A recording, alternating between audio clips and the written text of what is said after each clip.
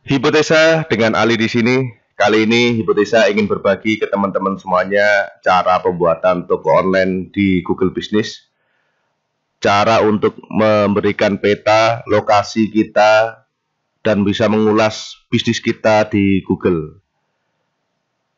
Bagi teman-teman nanti yang ingin belajar tentang Google Business secara detail nanti bisa ikuti yang ada di playlist ini biar nanti teman-teman selalu berkembang dan bisa juga berjualan lewat online menggunakan fasilitas Google. Dan saat ini memang sangat powerful sekali buat teman-teman yang ingin berjualan lewat online menggunakan fasilitas Google karena banyak sekali fitur-fitur yang diberikan oleh Google Business untuk pengembangan usaha teman-teman semuanya. Oke teman-teman semuanya, kita langsung mulai saja cara pembuatan Google Business yang pertama kali yaitu siapkan terlebih dahulu emailnya.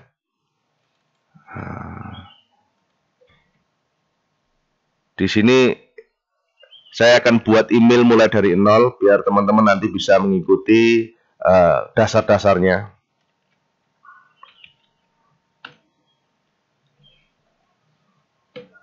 Klik buat akun untuk diri sendiri. Untuk mengelola bisnis silahkan pilih salah satu. Kalau ingin bisnis nanti juga bisa, untuk diri sendiri juga bisa. Tapi untuk personal teman-teman bisa gunakan untuk diri sendiri, multifungsi di sini. Tapi kalau fokus untuk bisnis, untuk mengelola mengelola bisnis saya.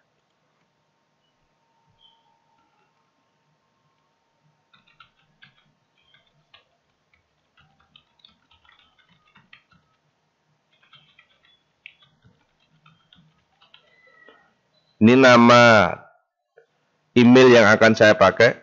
Nama depannya grosir. Nama belakangnya dompet Lamongan.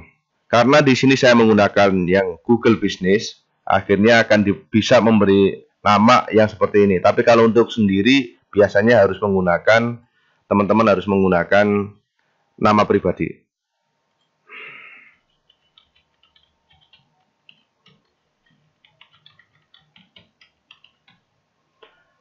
Setelah ini selesai, teman-teman klik berikutnya. Mohon maaf tadi keliru. Ini harus sama ya, antara sandi dengan konfirmasi harus sama. Oke. Nomor teleponnya silakan diisi. Klik berikutnya. Konfirmasi, masukkan kode konfirmasi yang dikirim ke nomor HP-nya masing-masing. Dan ini memang harus ditunggu terlebih dahulu teman-teman.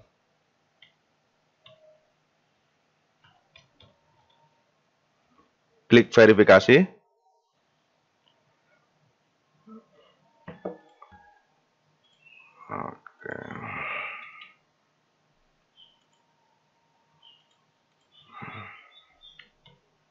Isikan tanggal lahirnya, jenis kelaminnya. Ini bisa diisi ngawur pokoknya eh, di atas 18 tahun. Kalau mau diisi real silahkan, mau diisi pokoknya ada isinya silahkan. Setelah, setelah itu teman-teman klik berikutnya.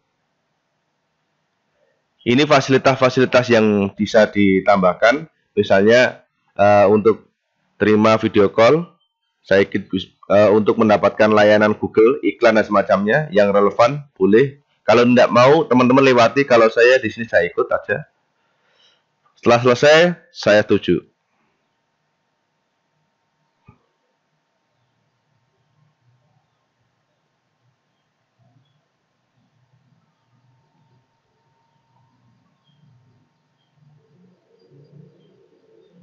Sudah selesai?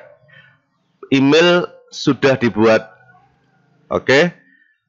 Agar nanti ini tuh pengaksesannya mudah, teman-teman gunakan uh, multi akun yang di Chrome. Sudah ada di video sebelumnya, nanti saya kasih deskripsi di deskripsi linknya.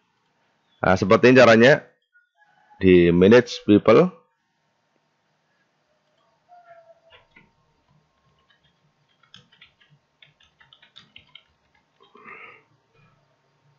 di add dimasuk di sini.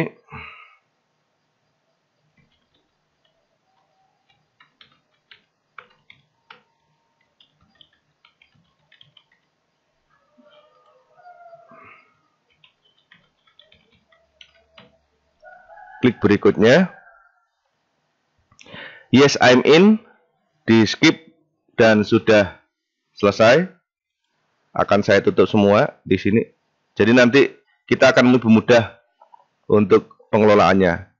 Antara satu browser dengan browser yang lain nanti akan berbeda. Nah, di sini saya menggunakan browser dompet lamongan ini. Secara otomatis nanti akan masuk di sini.